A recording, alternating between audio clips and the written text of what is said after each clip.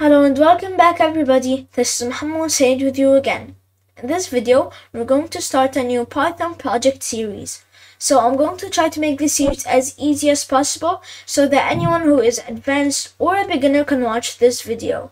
Um, but if you are a complete beginner, you have to watch my um, Python tutorial first. That's gonna teach you the basics. Then you can also apply the basics on this tutorial. So if you guys like this video please tell me in the comments below so I can continue making um, the same type of videos. So yeah let's get started.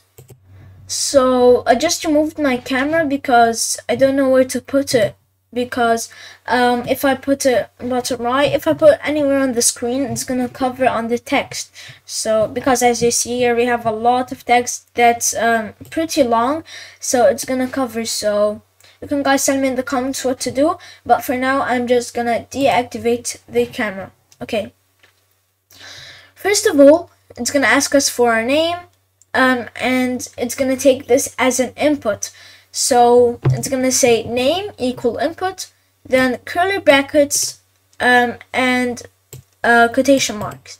After the quotation marks, here we're going to put what we want to be printed, what we want to ask. Um, of course, here, um, if you want to print something that is already an object that's already printed, uh, you can just, you need to remove those quotation marks. So like if I've already created an object called, um, um, let's just call it object for instance, object. If you already made something before and called the object, you're gonna say um, name equal input object here. So it's gonna print in what you said um, as an object. So I'm just gonna remove this get back to what we did. Okay. Now after this we're going to print um, welcome name and then to this adventure. So as you see here we split our sentence into into three parts why is that? Because we want to put in an input, we want to put in um, data that is already stored in the middle of our text. So what we're going to do is we're, we're going to say welcome as if we're putting something on its own, then comma, then name without um, quotation marks because this is already stored, and then the same thing to this adventure as to our welcome. So we're gonna put a comma um, quotation marks then to this adventure. And now we're going to say answer equal to input, which means we're going to create an input and we're going to call it answer.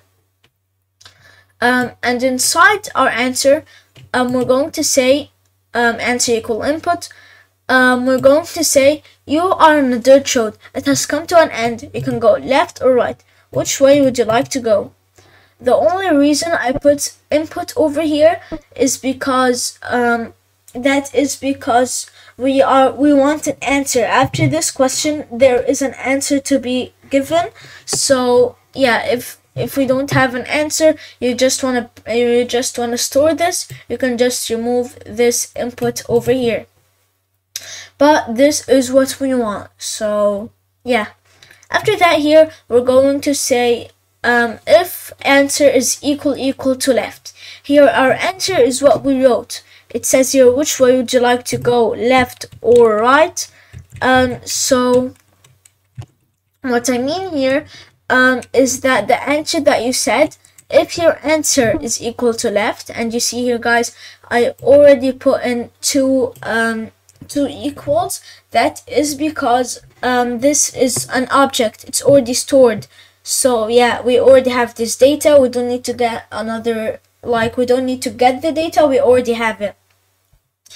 So yeah, now after that, if, if our answer is equal to left, we're going to do the same thing.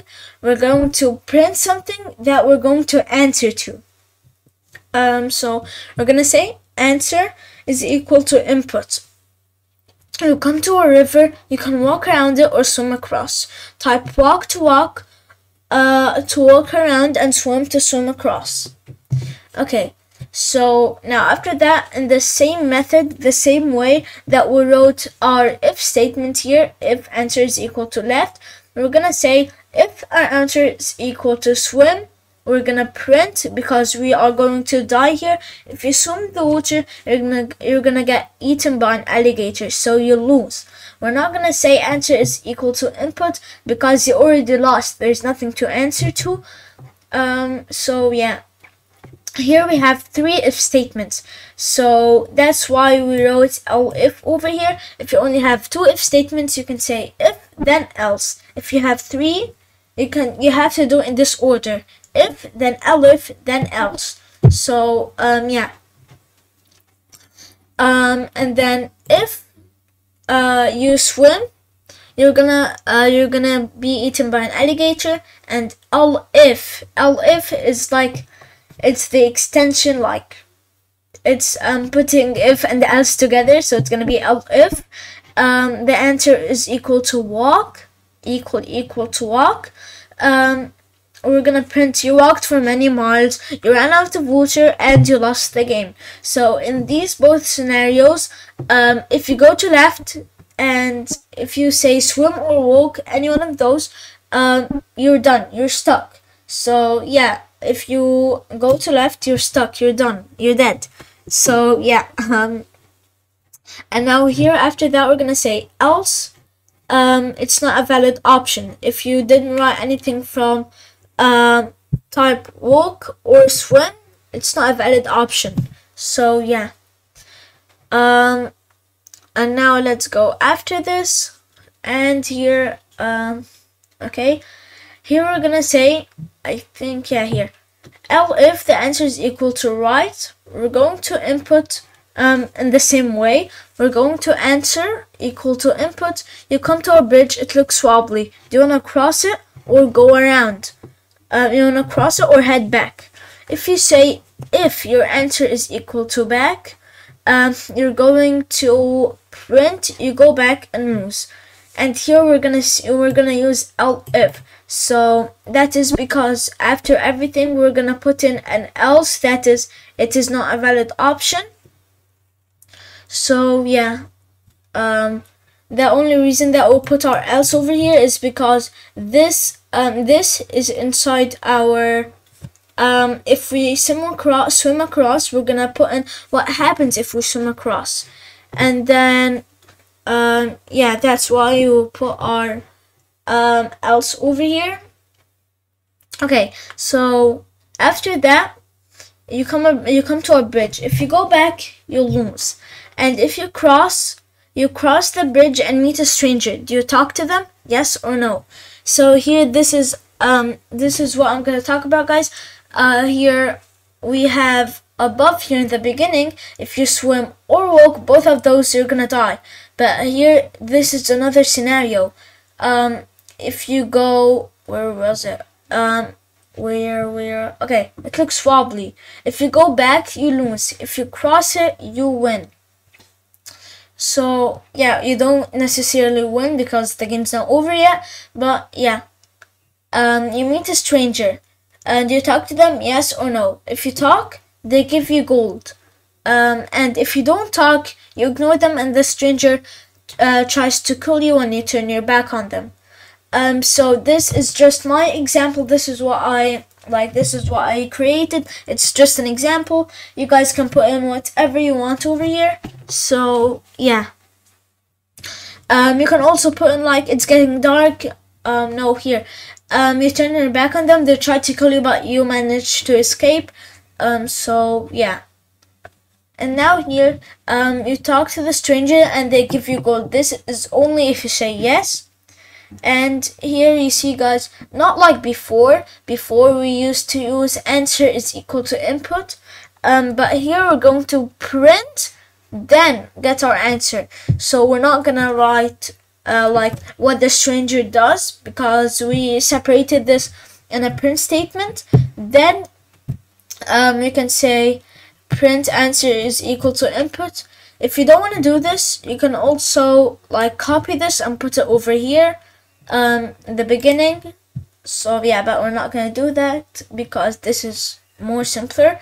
And um, yeah, you don't like need to scroll over, uh, scroll all the way here to see what you need to like, uh, what you need to type in because it is already really long. so yeah.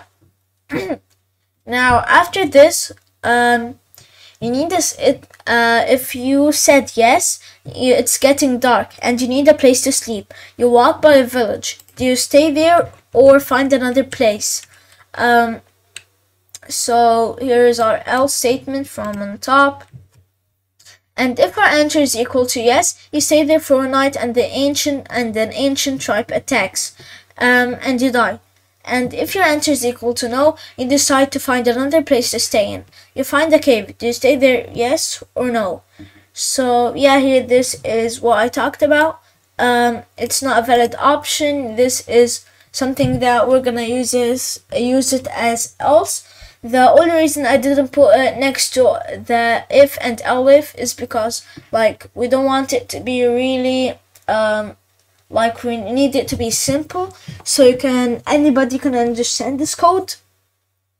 So yeah. Uh, after that it's gonna say like we didn't lose but the game's already over it didn't like i didn't create more content to it it didn't put in more stuff to it um yeah, it didn't put in more stuff to it. So after you do it, it's gonna print in thanks for trying and then your name. So let's try the game. It asks you for it asks you for your name. My name is Muhammad. Okay. You come um welcome to this adventure. Like it's not gonna be fair because I already know the answers because I'm I created it.